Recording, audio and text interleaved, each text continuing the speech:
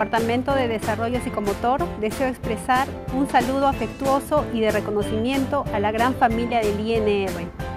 Son 55 años que el Instituto Nacional de Rehabilitación viene atendiendo a la persona con discapacidad a través de un grupo humano comprometido con mejorar la condición de salud de la persona con discapacidad, con mejorar su calidad de vida y su participación dentro de una sociedad inclusiva.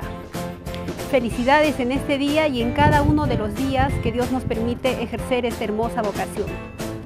Dar un saludo de felicitación y un saludo afectuoso también a nuestros pacientes, que son nuestra razón de ser, en especial a nuestros pacientes niños. Decirles que cada día vamos a mejorar para atenderles mejor.